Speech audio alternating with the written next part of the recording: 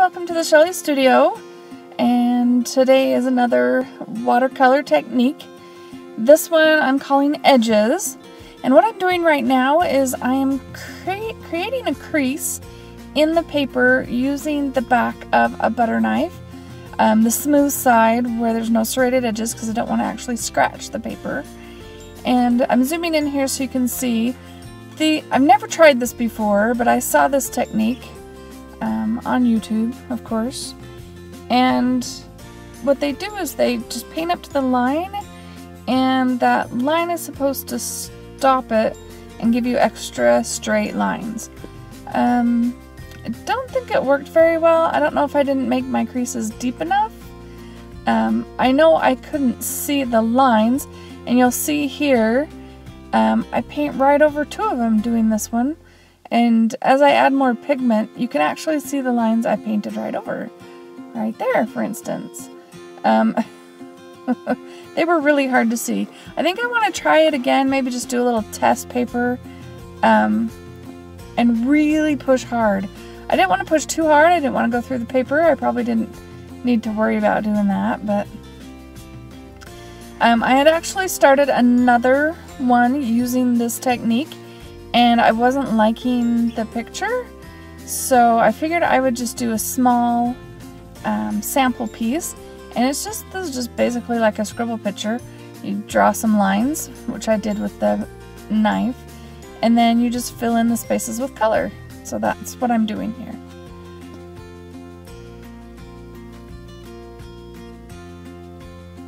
And I don't know if it didn't work because I had too much water or not enough water it just seems like it wasn't working for me.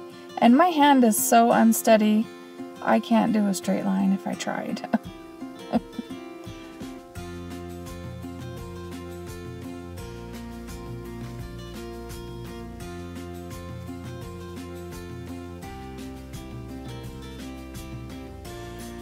I am still using the Prang um, you know, school grade cheap watercolors for this sample.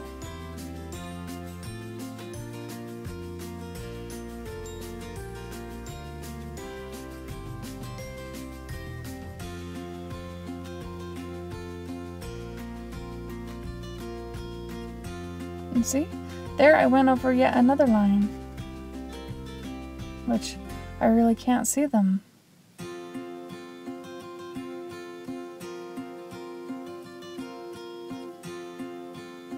If I get at the right angle and the light hits it, hits it just right, then I can see them. And of course, I'm not patient enough to let it dry. I tried working in other places, but I just wanted to keep going.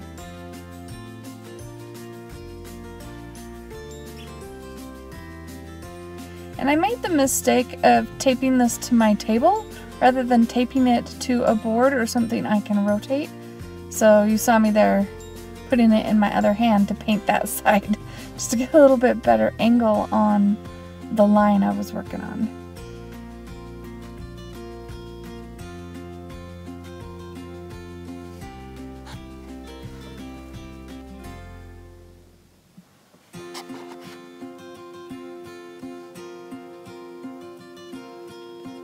Trying to decide what to do.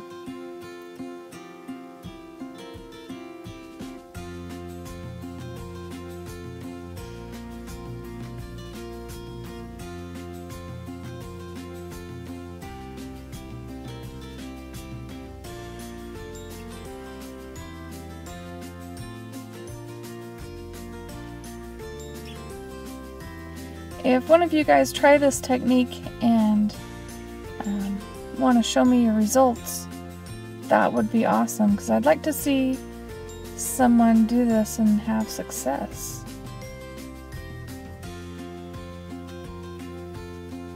Now I'm trying the round brush. I thought, I don't know, maybe it would work or maybe you could actually tell whether or not it was working because the flat brush gives gives pretty good straight lines anyways. The round brush um, does not, as you can see.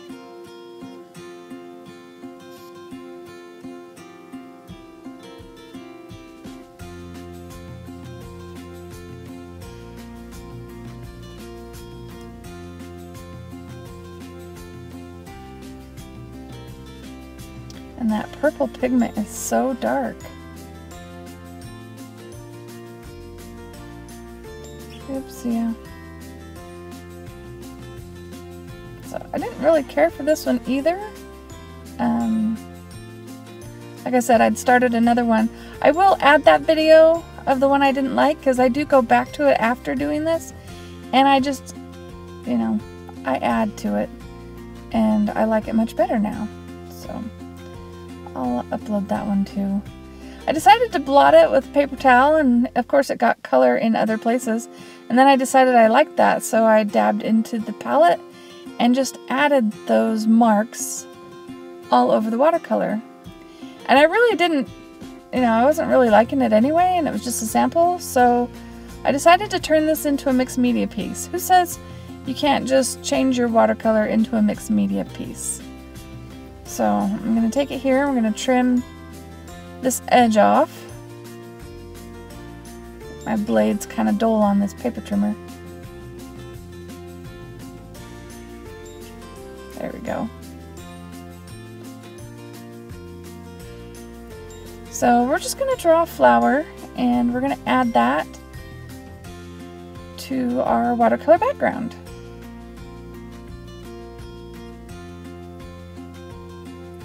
I'm just making a daisy type flower.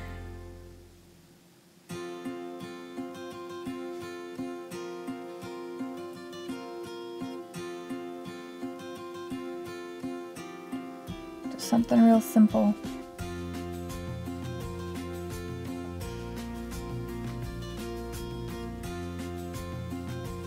Now when you add stuff like this to your watercolor, um, you do need to call it a mixed media. Um, if you're entering it in anything or, you know, listing it somewhere, it does need to be considered mixed media instead of watercolor.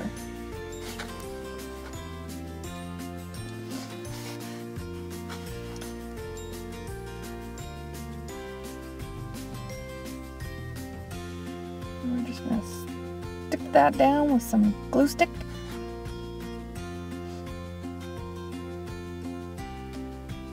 Got enough glue on there to stick.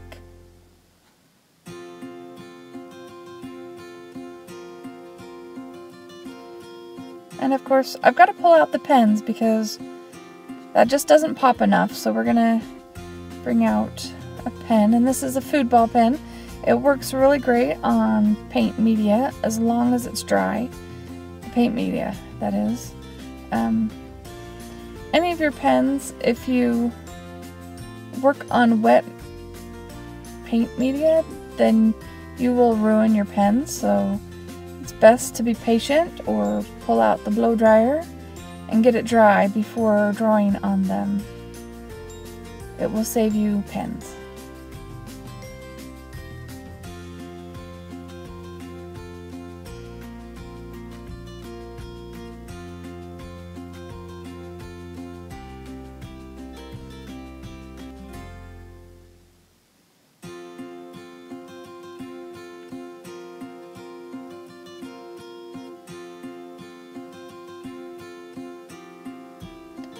And once that's done, I've got my pen out. I can't leave um, well enough alone. We're going to add something to the border.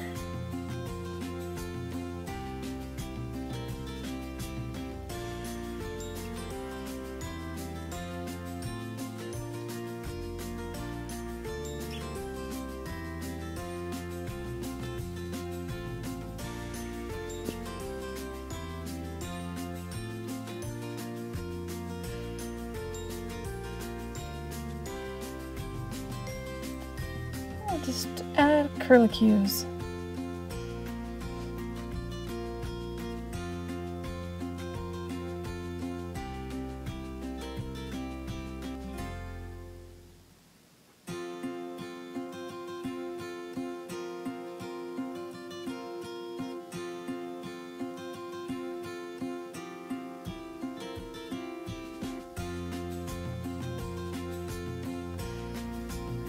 I decide a quote would be good. You go from something ugly to something kind of pretty. And so I decided to talk about the difference between weeds and flowers.